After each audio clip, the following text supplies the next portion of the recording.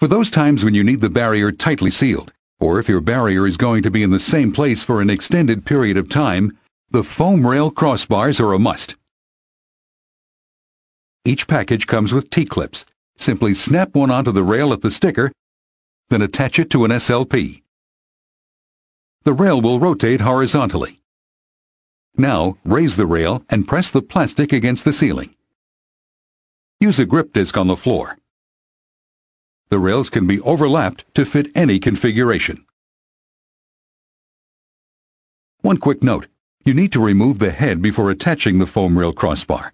Never remove the head by trying to tilt it off. Instead, pull the head straight off the pole. ZipWall is also great for jobs with drop ceilings.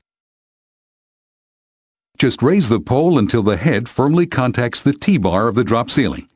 Then, follow the T-bar until you've sectioned off your work area.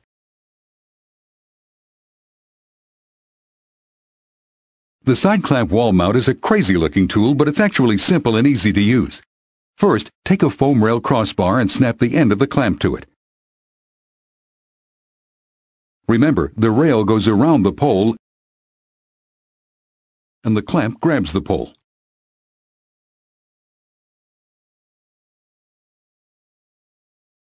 To seal the entire wall, overlap the clamps and rails as needed.